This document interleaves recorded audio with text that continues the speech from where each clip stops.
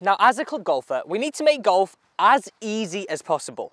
So when we're inside 100 yards, like this scenario right here, we have one method to think this about. This is looking good. And I promise you, if your confidence is down the dumps, this will take it sky high. I literally mean sky high. Now, this is what we're facing right here. We're 89 yards to that flag. This is a bunker here, by the way, just short. Tough shots. Now, this one method is going to give you 12 different shots. 12. If you think 3, 6, 9, 12, all with one technique, there will be no flag you cannot access. This is the deal breaker, right? If you want to lower your scores, being good from this distance is crucial. Now what you'll get from this video today are these key points right here. How to stand to a pitch shot, how to strike a pitch shot, and that crucial thing, all about distance control. Come on, do this with me. Now you're probably thinking, Alex, how on earth can I have 12 different shots with one method? Well, really easy. The method's gonna have three different positions, and that's what I'm referring to that third point on distance control. So if you had three positions with your 58, three with your 54, three with your 50, and three with your pitching wedge, that would be three, six, nine, 12 different shots. I was just checking my maths there as I was doing it. I was like, please make sure I've done those maths right. So let's start with stance. And all you're gonna need is three golf clubs. One golf club you're going to hit, the other two are just to give you those boundaries of how you stand to the golf ball. Right, first things first, target line. So let's just use the ball to start with here. This bright green one, we'll save them for the distance control. So if we place that there, I want now to place your first golf club down parallel to your ball to target line. Well, it's pretty damn good. I just close that, you know, give it that little bit of a check there. Along that line, the one club I got on the floor, all the way to the flag, you have two parallel lines there all the way to target. That's key to get that right first. I then place my next golf club down where at this end point I should be able to fit one, two club heads into this gap. One, two. So this is your station of exactly how you're going to stand to the golf ball. Let's say this is going to be your shoulder line and this is your feet and your hip line. I think a lot of people go wrong here when we try and stand to a pitch shot exactly as we would like a full seven iron, that is killer, absolutely killer. So just before we stand to the golf ball, just grip your golf club in the middle so you got even amount of grip top and bottom. Then making sure the ball's slightly towards the back of your stance. If you had a stance around two and a half club head widths apart, you want to focus on your feet and your hip line being down here. This golf club, but your shoulders being parallel to this golf club. This is going to help you swing towards target. Think, if my shoulders are pointing both left, I would swing too much in that direction.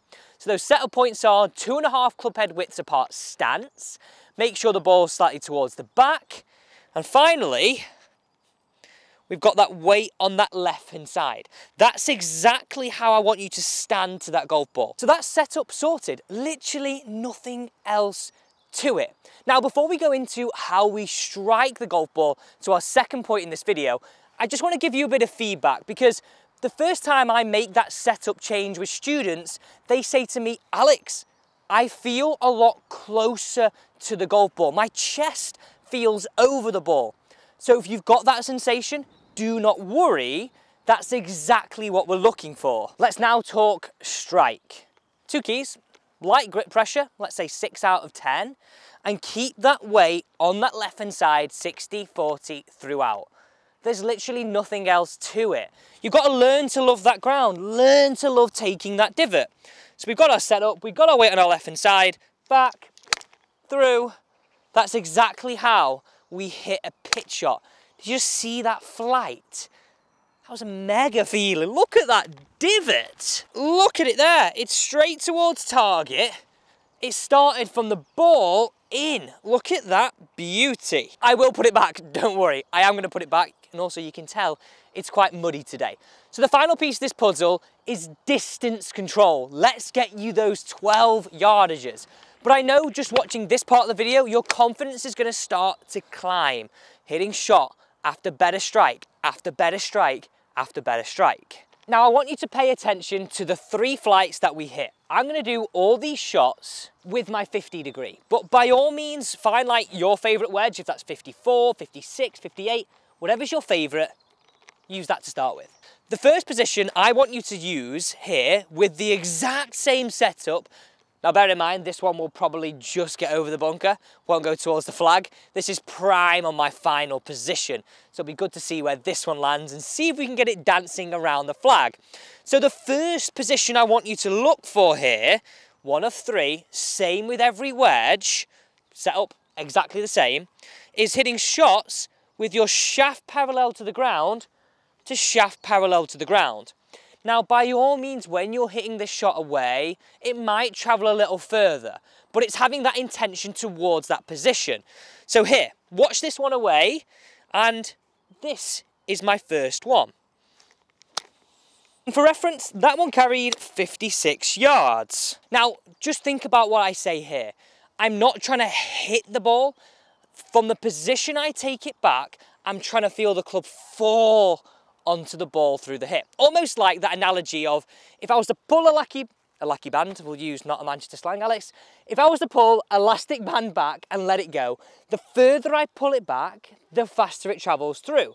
So at my first position, I pull it back a little bit, it just goes through a little bit. So we should start to see those yardages climb. So first position was shaft parallel to the ground. The next position is arm parallel to the ground. So that position right here. Left arm parallel to the ground for a right-handed golfer and right arm parallel to the ground for a left-handed golfer. And you'll notice that I went arm parallel to arm parallel on the way through.